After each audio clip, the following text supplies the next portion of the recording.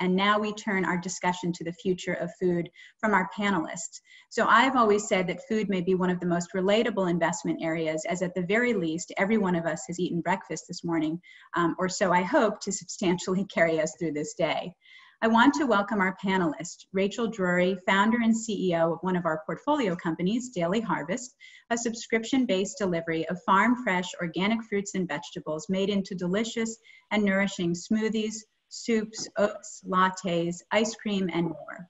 And Nick Green, co-founder and CEO of Thrive Market, another of our portfolio companies, an online membership-based market of more than half a million members who support better brands and seek to build a better world in the process and Seth Goldman, co-founder of Eat the Change, a platform to inform and empower consumers to make dietary choices consistent with their concerns around climate change, uh, as well as, as co-founder of Plant Burger, a fast casual restaurant concept with a menu designed by chef Spike Mendelsohn, dedicated to crafting and redefining some of America's favorite foods without using animal products, but not sacrificing flavor.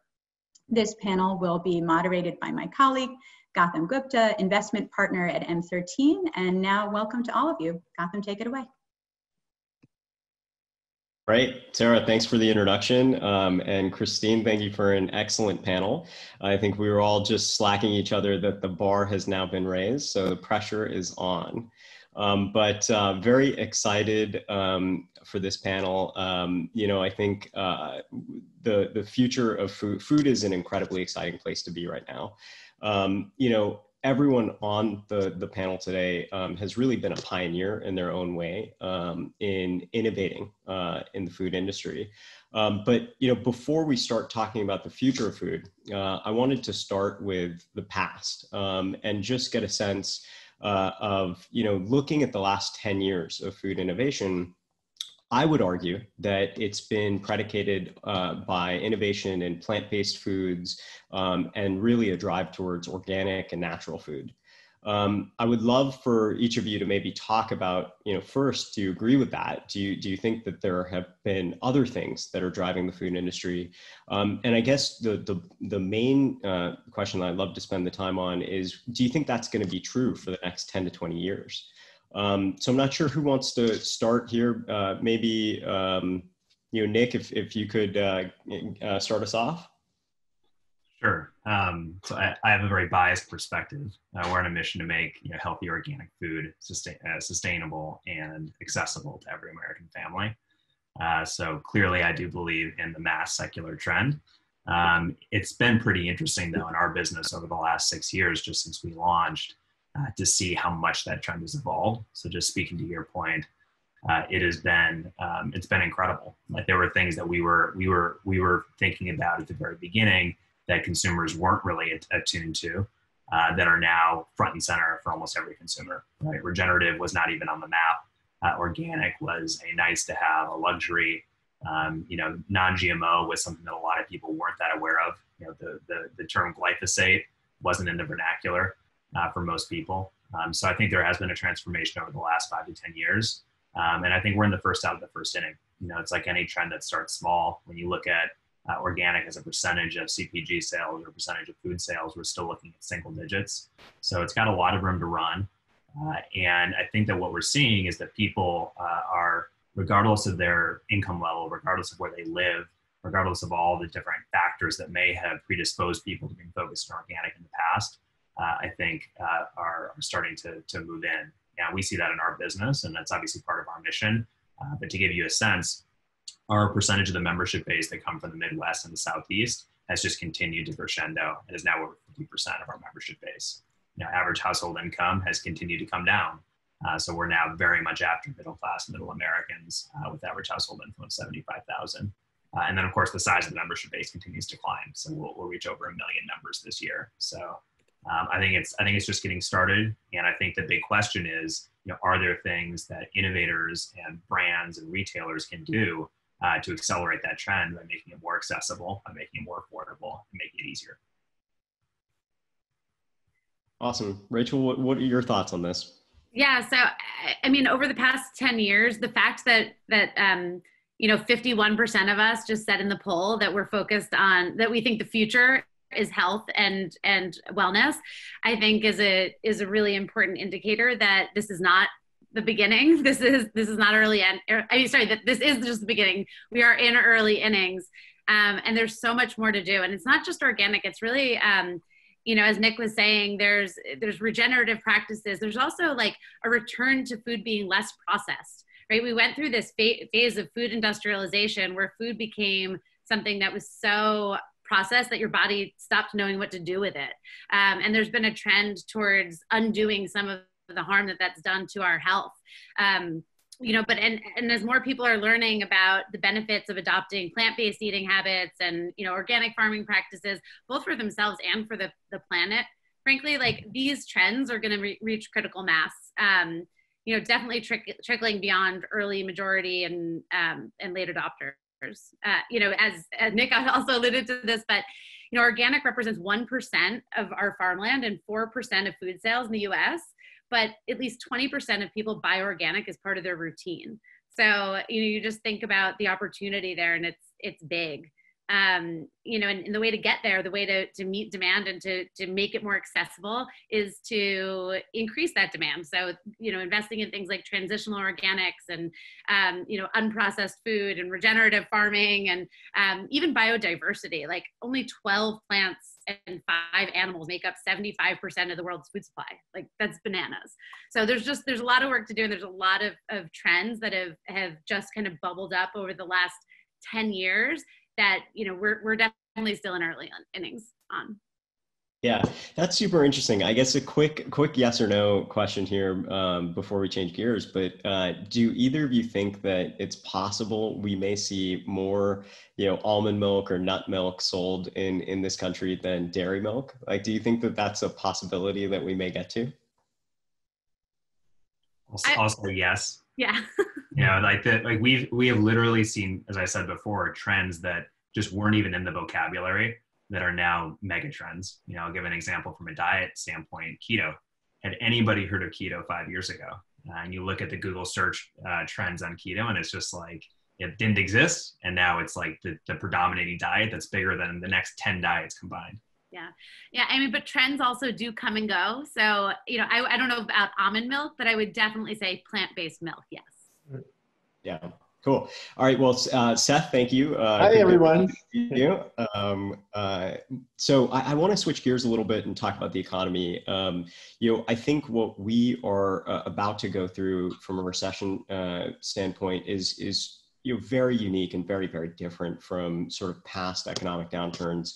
Um, you know we're all at home um, likely cooking a lot more. Um, as we saw from the survey people are thinking a lot more about uh, the products that they're putting in their bodies and, and thinking a lot more about health um, I'd love to, to just hear your commentary on how are you thinking about this recession impacting uh, the food industry, um, and specifically maybe if you could comment on just um, you know interesting ways that it's already impacted. COVID has already kind of impacted your businesses. Um, Seth, maybe we'll start with you and and uh, go around from there.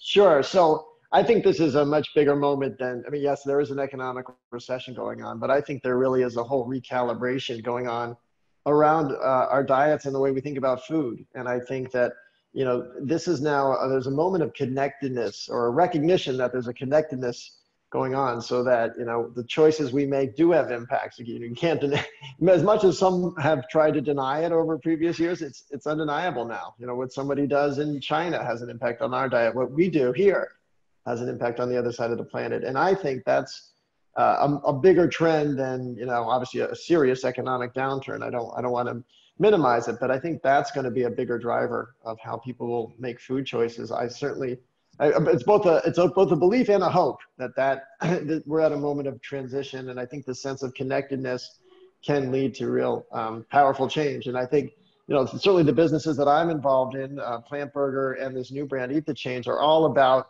both recognizing that moment and hopefully accelerating that transition as well. Yeah. And do you, Seth, uh, maybe if we can stay on you just for a second, Yeah. um, uh, given retail locations are closed, grocery stores are running out of stock of things, I mean, Yeah. is there any, um, even just near term, um, you know, ways that, that it, maybe it's caused you to think differently? Oh yeah, this? totally. Well, the, look, the, the what it's exposed is some broken business models. The the restaurant business model is broken. Think about this. You've got people who are paying real estate for seats that they can't fill. Uh, they're not allowed to fill, and even if there's no no one in those seats, they still have to pay the landlord a fixed rent. Uh, no matter what happens. And so what we've done at Plant Burger, we have uh, five locations, or the next one's opening up next week um, they're all located inside of Whole Foods, and it's a dynamic rent model. So we pay rent based only on um, a percentage of sales. And so, you know, that's if I'm a restaurateur, if I have a choice between that or paying a fixed number every month, I- think that's how it's going to have to ship. So, um, you know, we've heard that over a third of restaurants are going to go out of business. Uh, just or or have, if they haven't already gone out of business, will go out of business, and, and it's just been brutal. Uh, and so you got to look at different business models. And I think that's a small example, but obviously you're seeing the same phenomenon happen in office real estate, right? Why, why would an office be paying to house all these people who can't work in it? Um, so a lot of things are going to change. And, and, you know, the one thing I'd say, anyone whose business model and business plan hasn't changed uh, from January is failing to recognize what's happening. Cool. Very well said, um, Rachel. Uh, how about uh, how about you? What do you think in terms of uh, the impact of this recession on Daily Harvest and kind of how you're thinking about uh, consumer changes? Yeah, I, I mean, in general, consumers are home. They're busier than ever. My parents are juggling work, school, daycare, all while trying to stay healthy. I mean, I have two kids at home, and it is it is insane. let's just let's just leave that there. Um, you know, convenient people need convenient solutions to feed themselves and their families, and they need things that don't require them to leave their home. That's just where we are. So, you know, when you think about this recession in particular, all these factors are coming together to create an environment that's ripe for online food and grocery companies. Um, you know, brands with technology and delivery infrastructure are going to win. Um, and then you think about like health as an investment area, which we already spoke about a little bit. You know, health is no longer discretionary. So when you think about how um, how people are going to spend those dollars that they have if they lose their job, you know, it's going to be about health and quality. People are seeing the the divide and and COVID outcomes between the healthy and the not healthy. Yeah. Um, the proof is there. And you know, it past recessions, yeah, people ate at home, um, but you know, it, it it is a different dynamic this time where um, it's almost not a choice. So you have to find ways to make it work for you and and there's more demands on on all of us than ever before. And um, you know i think that people need solutions that fit a new lifestyle. Um, and it, it's gonna there's gonna be a big impact but as i said you know it's it's about taste health sustainability um, those are to be the winners mm-hmm. Cool. And uh, I mean, Nick, uh, you know, couldn't think of a business that's probably better positioned right now, being the Whole Foods kind of Whole Foods delivered to your door. I imagine, though, that um, COVID has uh, changed a lot of how you guys are thinking about, um, you know, the business, and you've always had a very strong value message to uh, Thrive Market. Um, maybe you could just talk about, you know, are you um, uh, extending that messaging and and really uh, driving sort of value harder, or are there other things that that COVID has changed in in your plans? Yeah, yeah, I think I mean Rachel made made the point, and I think it's really true. The the this recession, like every recession, is going to have people focused on value, on convenience, on affordability. Um, we're obviously positioned as a wholesale buying club where you're going to get the organic, natural products at or below the price of conventional equivalents. Uh, that's a tailwind for us. Um, but as as both Seth and Rachel pointed out, what we're looking at is something very different than your typical recession. Um, and you know we've seen that really acutely during during the actual during the actual pandemic pandemic itself. So you've got the obvious acceleration of the trend towards purchasing uh, from home, uh, grocery shopping online, and the you know the data that you see there is the stats are just amazing. It's like really like we've seen. It's not just like a year's acceleration; it's like five years acceleration in the course of three or four months, which is you know really zooming out, totally unprecedented.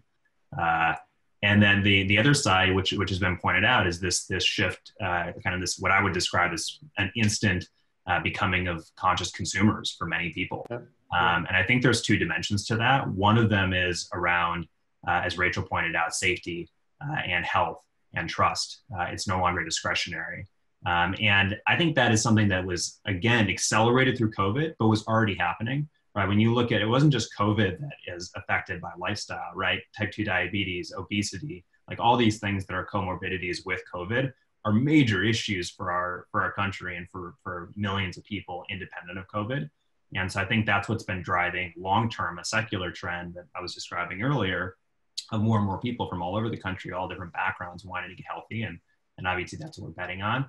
I think the only the other the other trend though that I would point to, which I think is really important, is uh, is people wanting to live their values. Um, and I think uh, Seth sort of alluded to this in this coming together moment. But I think you know COVID has been this moment where people get are taking taking stock, getting perspective, thinking about what's really important. And it's been interesting on Thrive to see. You know, we launched a COVID relief fund, uh, and we saw donated checkout rise 9x uh, in the course of three days. Um, and we've raised over half a million dollars for COVID relief, all from the generosity of our members. So people are wanting to vote with their dollars. Uh, again, that trend was already happening, but I think it's just accelerated now. And my hope is that, you know, like the shift online, we're going to see an acceleration of conscious consum- consumerism that also accelerates you know, half a decade or a decade, uh, because we need that when we're facing you know, existential planetary uh, issues.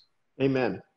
Yeah, that that's incredible. Thank, thank you guys for all the work that, that you're doing on that. Um, I want to stay on this topic actually because one of the things that's really important now is you know if health is so important to consumers, um, I think access couldn't be uh, sort of more important today. Um, how do you provide, you know, with joblessness numbers uh, at record highs, how do you provide access to these healthier, better for you options um, that historically have had the perception of being more expensive, right?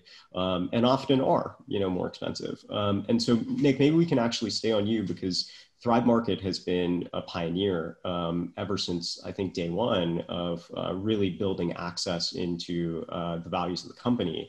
Um, and so I'd love for you to maybe just talk about what you guys have done historically and, and how you're thinking about access right now.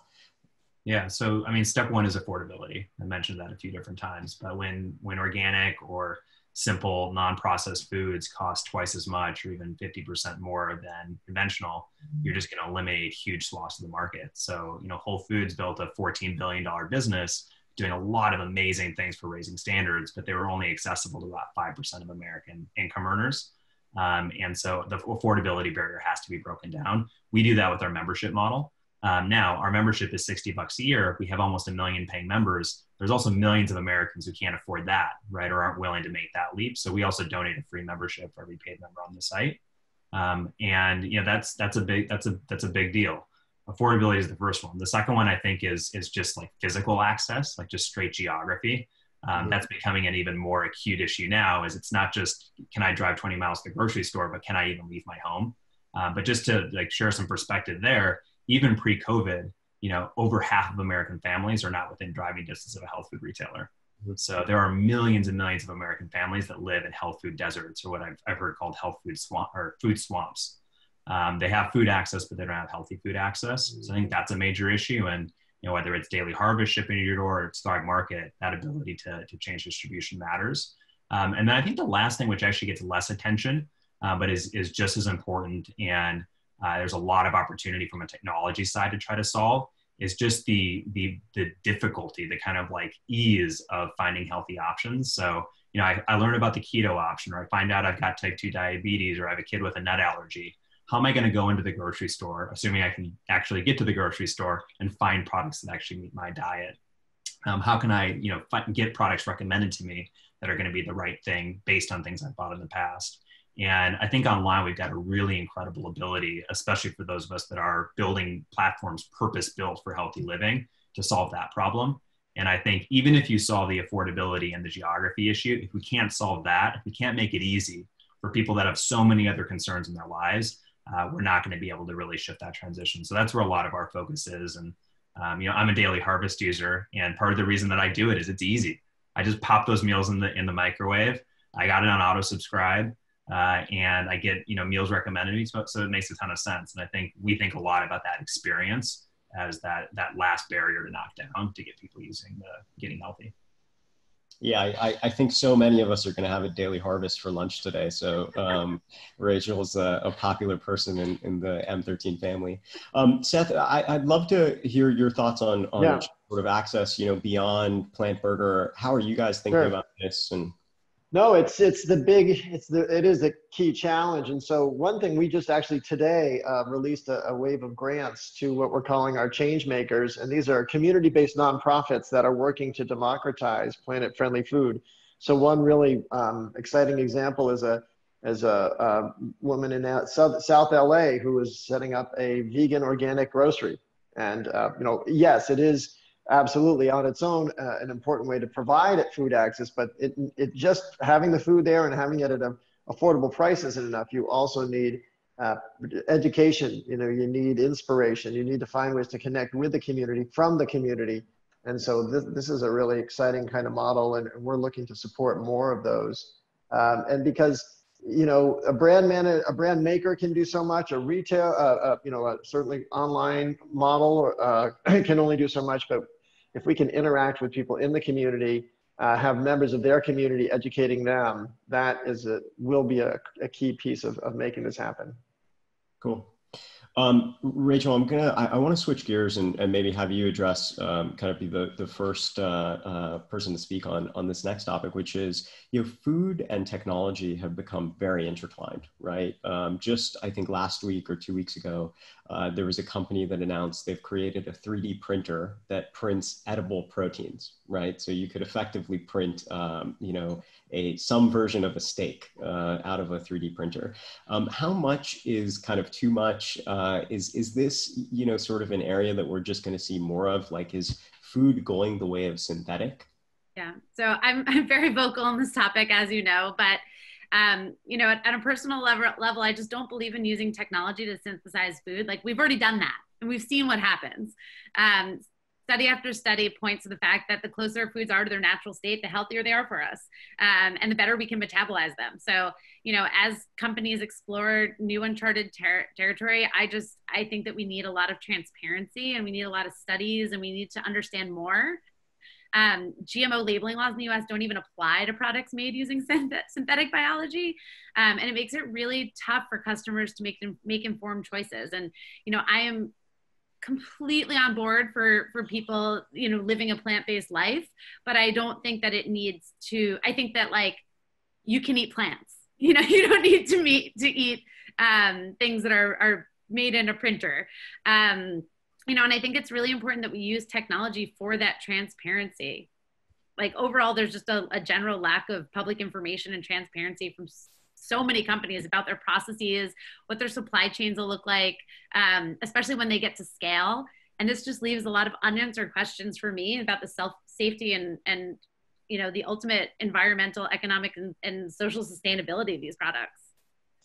So, if I could, I have a, a very um, bipolar response on this because. Uh, you know, honesty, obviously organic, uh, fair trade certified, total transparency. Uh, Eat the Change, the new brand that we're launching, will also be very much uh, products, you know, from from nature, delivered organically, and emphasizing biodiversity. Um, and I talk about Honest Tea and Eat the Change as an example of an undoing of food. You know, real simple, transparent supply chains. But also, uh, as chair of the board of Beyond Meat, you know, that is a company that is applying technology. But I'd like to say that's a redoing of food in a transparent and authentic way. And what I mean by that is it is non-GMO certified. Um, it is, uh, you know, simple and clear ingredients that, that people are able to understand. And I do believe uh, compared to the meat analogs, it is healthier for people. So I do think there's a role for technology when it can be done in a way that is safe for the consumer, better for the environment, and when you can document that it uses 99% less water, 93% less land, and of course 0% uh, dead animal. Uh, I think that's a better thing for the, um, the consumer and for the planet. So I think there's a role for technology when it can be applied in a way that is transparent and where there are um, clear benefits for the consumer and for the planet. Yeah. So maybe more of a, a, a decision of choice um, and, and consumer choice. Well, I, I, think you never should lose sight of, of transparency, just as Rachel said. Um, I, I think that is there that you can go pretty quickly down a, a bad hill when you start, um, you know, rationalizing places of uh, where technology can um, have a role. And so I think you do want to be careful. But I do think it, certainly if, as, if we think about trying to convert our population to more plant-based diets, I think products like Beyond Meat are, are critical for that. And uh, it's unrealistic to expect people are going to go from uh, meat intensive animal based meat to total plant diets without some kind of a, a, a transition or gateway product. And I think an example uh, of Beyond Meat can, can is, play a major role. I think what's, if I can add in here, I think what's so exciting right now, and Seth, you're sort of alluding to this, and uh, when you talk about choice and transparency, is consumers are so much more aware than they ever have been and they have access to more information at their fingertips. And it's not just the information being fed to them by commercials from big CPG. You know, they're able to, to you know follow health and wellness influencers on social media that are doing their mm-hmm. own research and you know taking a grassroots approach. And there's obviously a whole conversation around information and disinformation on social media. But I think you know net net, our consumers today are more conscious, they care more, uh, and they're more empowered and I think what's really exciting is you can have this debate over, you know, is Beyond Meat the path towards uh, a, a, more sustainable future? Is regenerative ag a path, or are both different paths? And you know, we can take advantage of kind of the marketplace of ideas and let consumers actually make that decision. And it may be that for different consumers, different solutions uh, work, or right, there's one solution in the short term, one solution in the long term. So, you know, I, I, I would just echo Rachel's point about transparency and say that is so so important and as food innovators, if we can create and uh, thrive, what we're trying to create as a platform that really empowers members to vote with their dollars, to live their values, that gives them the information about where the where the food comes from, um, that connects them to influencers and to thought leaders who can inform, inspire, and educate them, um, and then that provides both, right? That that provides provides options that uh, you know get them towards where where they want to be. And the fact is, we've gone off in such a bad direction. We're going to need multiple paths to a better Absolutely. place. And and the good news is that people want to get there, right? And it's yeah. broad. It's not just a, a, niche of people. Like mainstream middle class, middle America wants to get healthier, and they want our planet to get healthier. So I want to finish on on one question before we kind of turn it over to the audience, which is um, you know thinking again. The theme of the the day is future of, um, and so thinking of one potential innovation uh, that is coming uh, that could have a fundamental impact on your business. I would love for you to maybe just comment. What is one innovation um, that that you're excited about that that could fundamentally change your businesses? Um, maybe uh, Seth, we can start with you. Sure, I, I, if you will, I'll, I'll just give you two quickly. The first is that you know, as I said, restaurants have changed. That the that that old model is broken. So restaurants and the way we access food service will be different, um, and that's exciting. The other one I'll say, and this is just a teaser, but uh, the mushrooms are coming. And uh, big believer. What, what kind? Psychedelic or all ed- edible all mushrooms, all kinds, all kinds. Big believer in, in, it, and look forward to sharing uh, what we're going to be doing with those. You know, that's a great teaser of uh, uh, we the next uh, the next future of event. Uh, perfect. Every, um, everyone will take mushrooms before. yeah, perfect, perfect. Uh, Nick, how about you? I mean, I'll, I'll, echo the mushrooms just as a as a to tell you how of the moment they are. You know, we're about to launch a blended burger that is 30% mushrooms, uh, you know, sustainably sourced mushrooms, and 70% grass-fed beef um, you know, again, kind of goes back to that question of beyond meat versus other alternatives. Mm-hmm. This is one alternative, and you know, I tried it the other day, and I w- it was I could not tell that it was meat, except for that I didn't feel so full. Um, and that, by the way, is why I like a beyond beyond meat burger better than a traditional beef burger. Uh, so I think that's one. The other one that we're really passionate about is packaging innovation, and I think you can think a lot about food innovation, yeah. but uh, and uh, you know, coincidentally, this can tie to mushrooms too. Uh, we're we're looking at, at compostable packaging that actually uses mushrooms, but uh, the world where we can get to compostable packaging packaging that is cheap and functional, which you know, if you would have asked me two years ago, I would have said is ten years off. Now I think it's like two years off. Um, it's just amazing the acceleration of progress that's happening there. And food waste is one issue, but packaging waste, especially in a world that's shifting towards e-commerce, is a massive problem that we got to you know, focus our sights on. So, so what you're uh, saying is the second and third order ripple effects um, are invest in mushroom farms. Yes. Uh, more, more, or less, more or less. Going. Yeah. Um, Rachel, you cannot say mushrooms. So, so that's the one thing I would love to hear from you, but you cannot say mushrooms. Um, okay, so I'll give you two things quickly. One, just to echo Nick, um, compostable packaging, we've already moved 50% over there and there's still work to do, but um, it is the future and it is just, it's necessary. And, um, you know, finding that perfect balance between functionality and compostability and sustainability is, is really where it's at. Um, the other thing that I get really excited about is um, from a personalization perspective, because as we've already said match like people knowing what to eat there's just so much noise out there. So how do you know what's right for you? If you're diagnosed with you know type 2 diabetes as nick said as nick said i'm just called you nick um, as nick said like how do you how do you know what to do with that? How do you know what diet is right for you? And i think that there's just a lot to do um, with data science on like how to how to how to um, you know have how to curate people's diets in a way that allows them to be healthy without the cognitive load that it usually requires to figure out how to do that.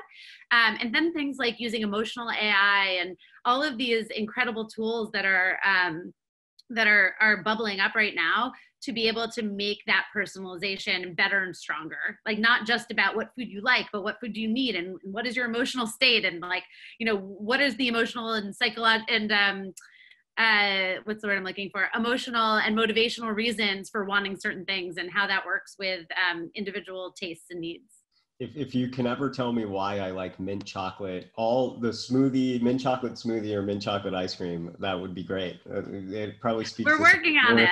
inner psyche or something. So, all right, we have uh, basically one minute. So this will be like a, a you know rapid fire round uh, audience question, um, which is narrowing it down beyond movements towards healthier foods and lifestyles what are more micro trends that you see? So, so maybe if you could just rapid fire like one micro trend that you're excited about. Um, this is it's not like a new thing, but I think blockchain in food um, supply chain is really cool. Interesting. Awesome. Like the traceability. Let's yeah, cool.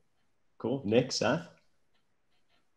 Uh, I mean, micro trend. This, this is a mega trend, but it's it's it's I think barely getting started. Is just people thinking about health more holistically, not just their own health, but health of the planet. And you know, we get as many inquiries today on our carbon neutral shipping as we do on free shipping.